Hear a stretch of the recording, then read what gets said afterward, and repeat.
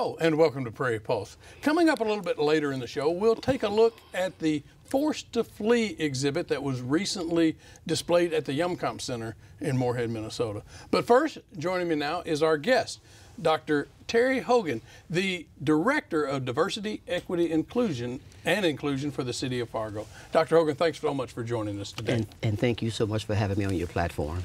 Dr. Hogan, we always ask the folks, Tell us a little bit about yourself and your background, maybe where you're originally from. Well, um, I have very humble beginnings from the Delta of Mississippi, born, raised, reared. Um, I was raised by great grandparents, if you will. Um, I believe is that they have made me who I am as of today, and so forth. I was brought up on picking cotton and chopping cotton and picking beans and butter beans and things of that nature. And one thing is that my um, great great grandmother would say, make sure you get your good education. Because she couldn't pronounce the word education. She couldn't read nor could she write.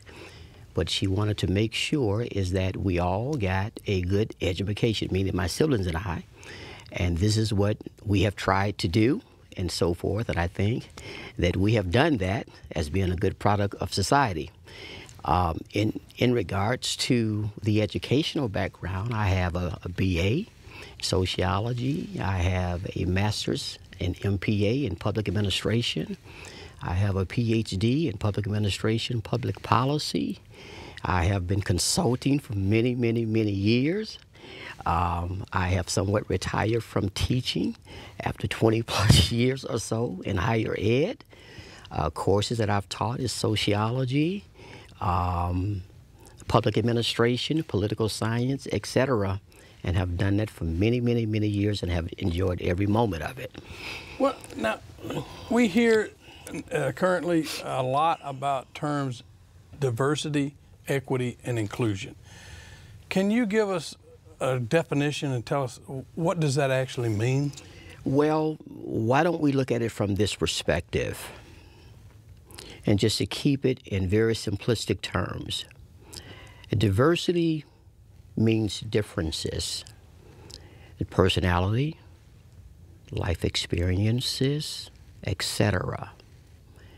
And with that being said, um, it is something that these differences bring new perspectives and new ideologies to the table. Equity, on the other hand, means equal or equality, or if in fact choosing to say in fact that everyone does have a stake at the table.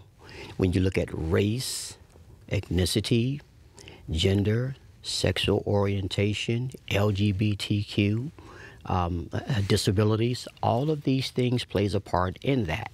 Now, inclusive or inclusion means now is that you're taking all of that life experience, everything that have been done in regards to the personality of that individuals, and you're putting all that stuff together, and you're saying now, I know that we are different, but let me listen to what you have to say.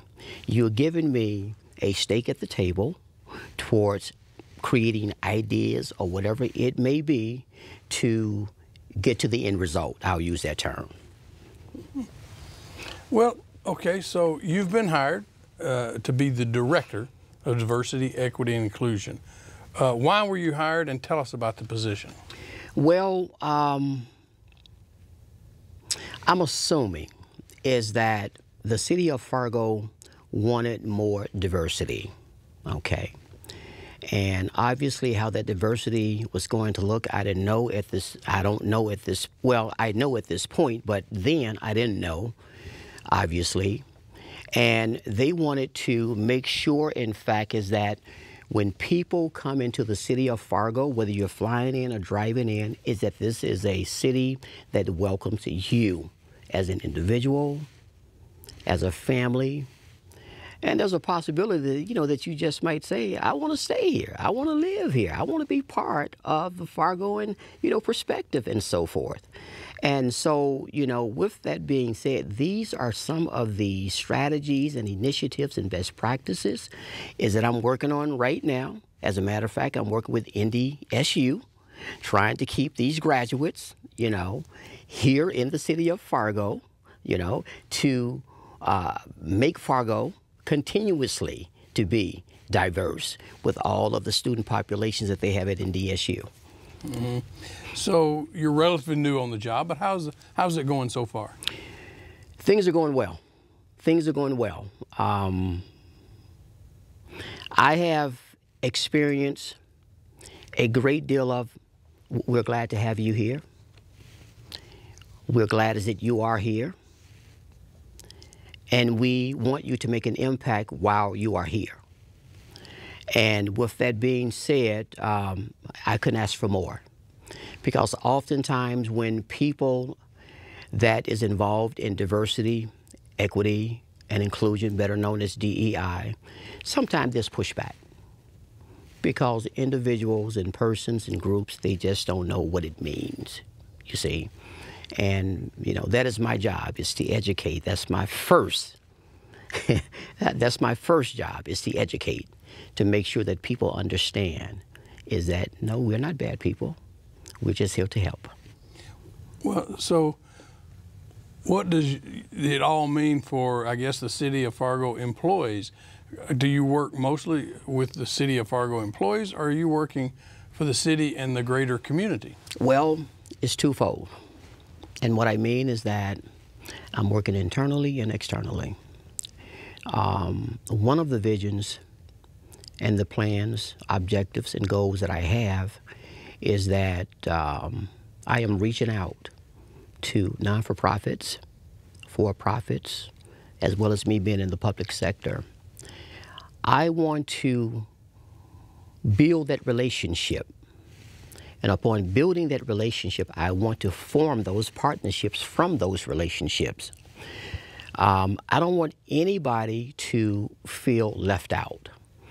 It's a long, it is a long strategic process because, as you know, I'm a one man show for right now.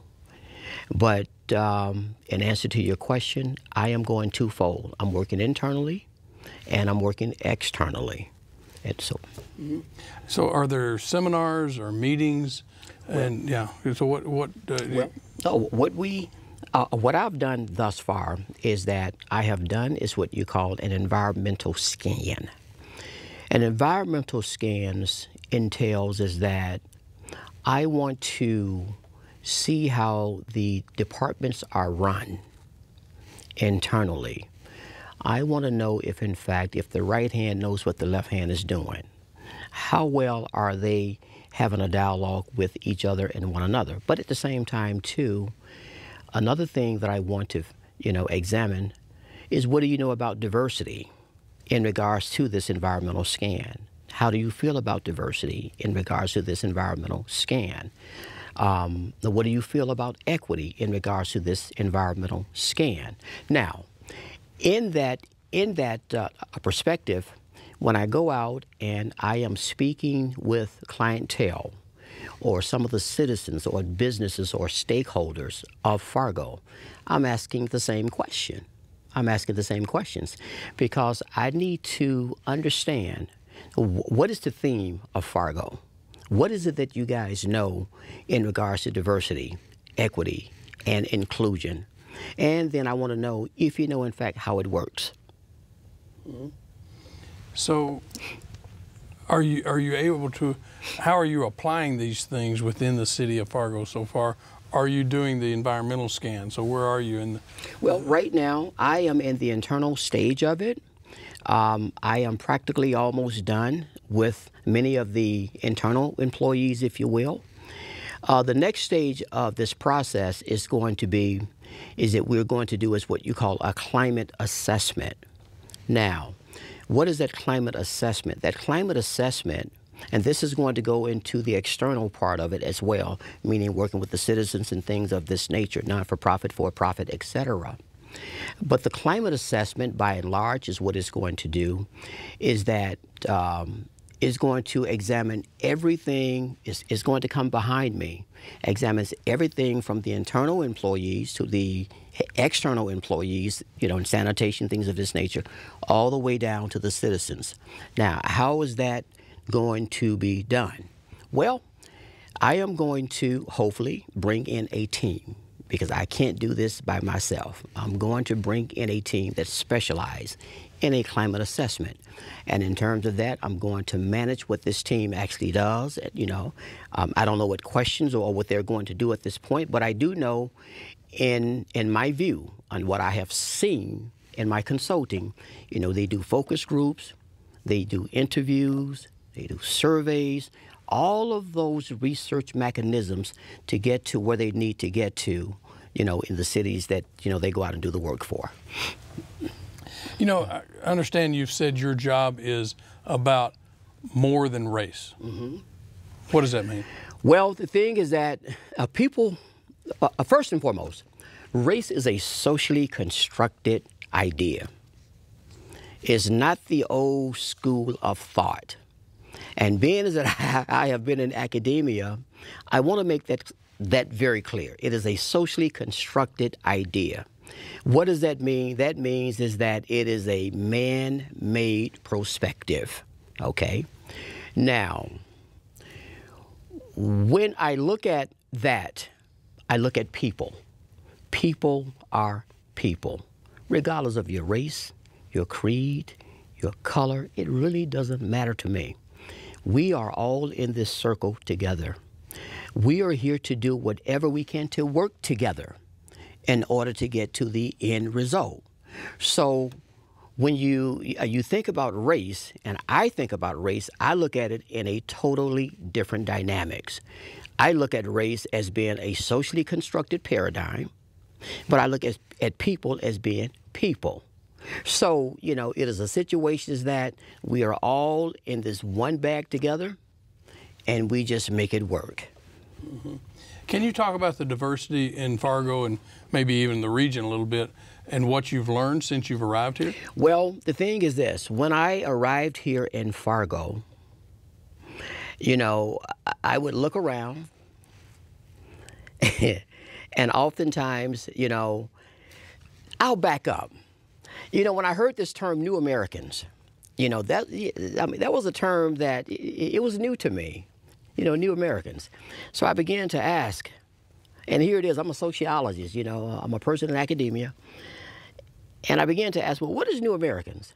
You know, and they began to educate me on it. And then I began to, you know, Google some stuff and, and research as I often do. And come to find out, you know, it was people that were coming in from, you know, the other, you know, vineyards and so forth. And um, I come to find out is that, you know, there's a culture. There's a lot of culture here in the city of Fargo. There's a lot of culture. Now, with that being said, one of the most pivotal things that I learned in regards to Fargo is that I went to, you guys had a farmer's market downtown. And I decided to just ingrain myself into this farmer market. I wanted to see the makeup of Fargo. Everybody comes out doing this farmer's market. And I was really amazed at the differences that I saw in the downtown area. And so I said to myself, what do I need to do in order to bring more diversity to the city of Fargo?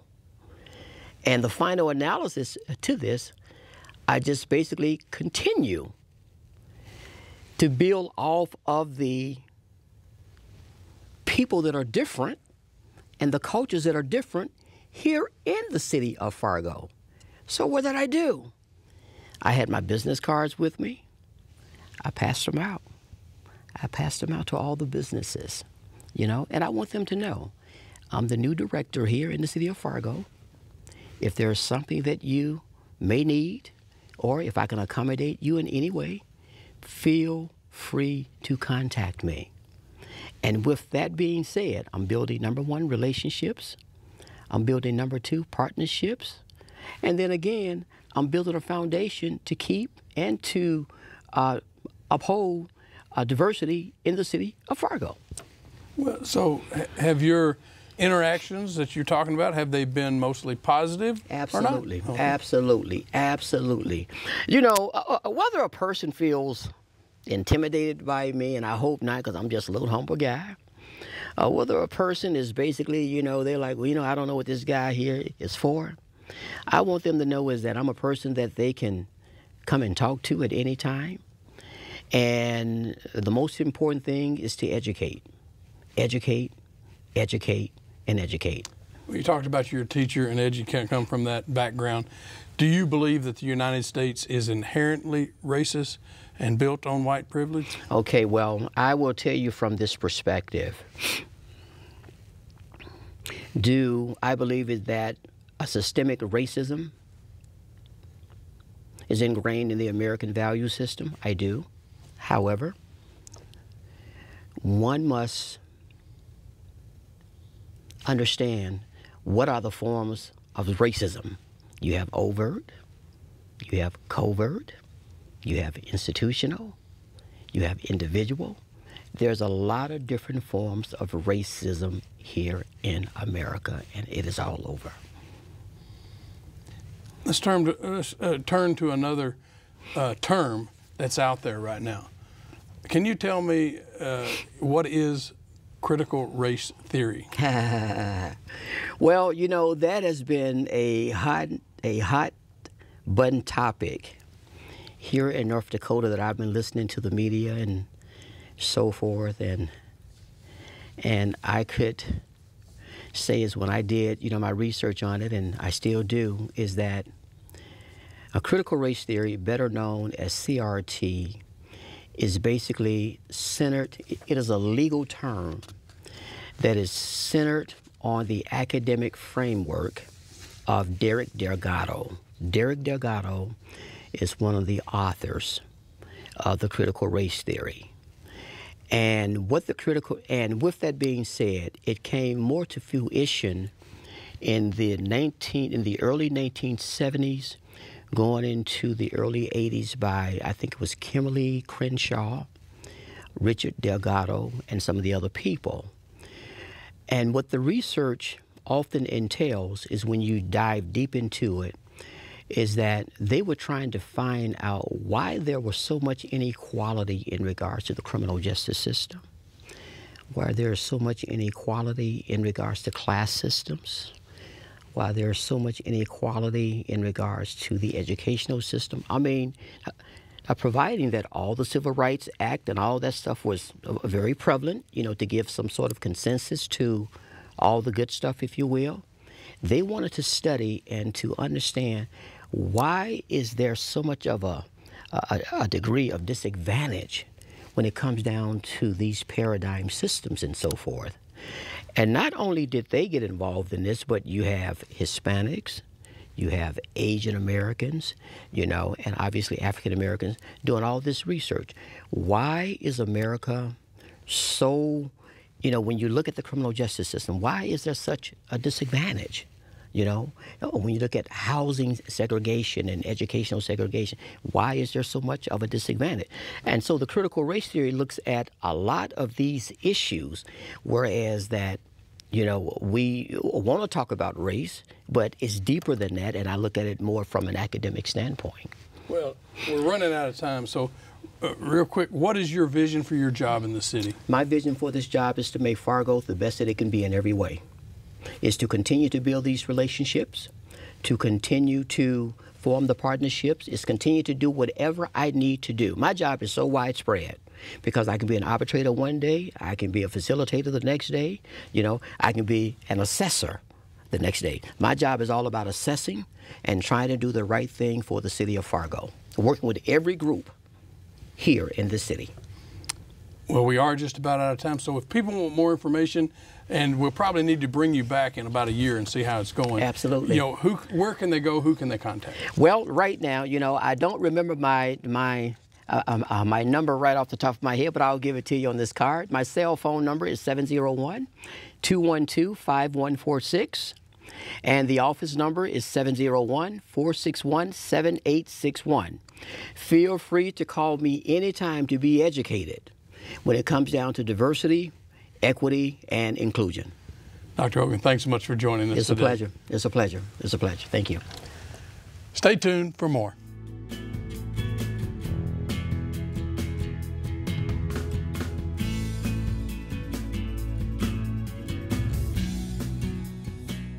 Forced to Flee is a traveling quilt exhibit recently on display at the Hjemkomst Center in Moorhead, Minnesota. With 36 quilts created by artists around the world, the exhibit portrays the reasons refugees fled from homelands and the hardships they face seeking safety in a new and foreign country. Our team generally selects exhibits based on what we know about what people here like to see. And we know there is a major quilting subculture here, a lot of fiber artists in the community who especially appreciate the art form of modern quilts. And this exhibit came to our attention and we thought this is a perfect one to have here because Fargo Moorhead is a major refugee resettlement community. And so many people today seem to misunderstand what is a refugee and what is the situation worldwide regarding people who are literally forced to flee for their lives.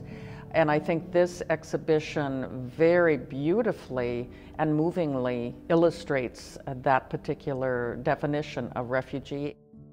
I think of refugees who have fled the border of their country, have applied for asylum, have been granted permission but in the general population, a refugee is someone that is fleeing from their home. Political refugees are really the ones that are gaining acceptance around the world. We can argue for that, but our new reality is that we see economic refugees and we see natural disaster refugees. Politically, they don't fit that definition, which just creates more tragedy for them.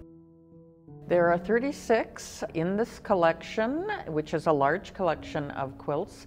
And the quilters come from all over the world. 13 of them come from different countries, including Germany, the UK, Ireland, Australia, even Korea, Japan, and the rest come from the United States, different states throughout the country. The quilts really show a wide range of refugee situations throughout the world and throughout history. I think the main thing is to draw some sympathy for the refugee crisis globally and also to educate people. So many of the artist statements are about this realization about what's going on in the world and providing a lot of great information about it. A lot of the exhibit appears to be probably that they were made during the Syrian refugee crisis, because there's a lot of reference to that, but there are also references to other refugee conflicts throughout the world and in different time periods. There's a quilt here in this display that lists dates and names and how that particular asylum seeker lost their life and it's just for like a 10 day period of time. There's another one of a small child that died on a trip across the Mediterranean. We saw that image on the news a few years ago that he drowned. I'm looking at all of these gorgeous quilts and it's just making me recall so many stories that I've been told by the families that I've met and places that I've been and, and things that I've seen. This is just a powerful, powerful exhibit. I imagine somebody sitting, every stitch brings back a memory of the trauma. Some of the artists are spouses of people that were refugees or grandchildren of people that were refugees, and it's them conveying the stories that they've been told into a medium that can speak to those of us that didn't have the opportunity to hear that story. The colors are gorgeous, the balance is perfect, and then you read deeper back into it and see that there's a dark story in here.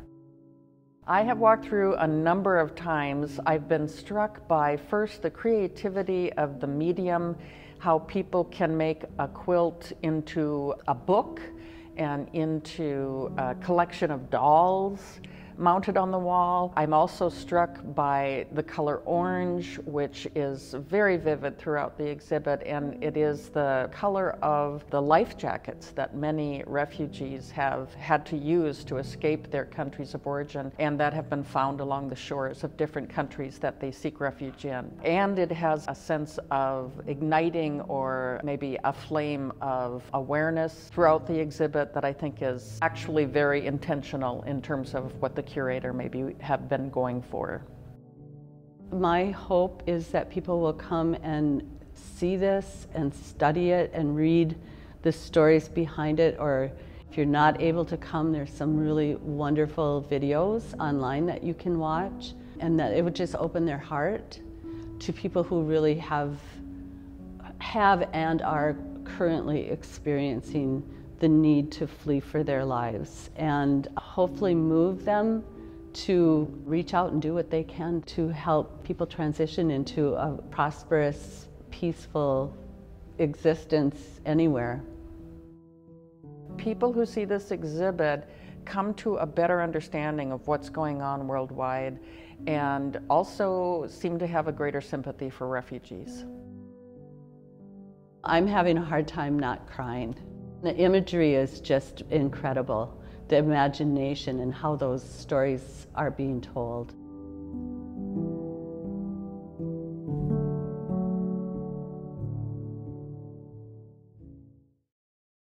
Well, that's all we have on Prairie Pulse this week. And as always, thanks for watching.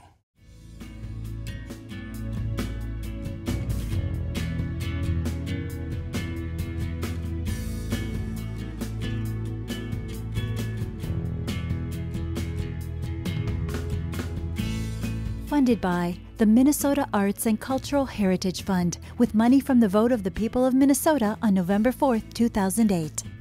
And by the members of Prairie Public.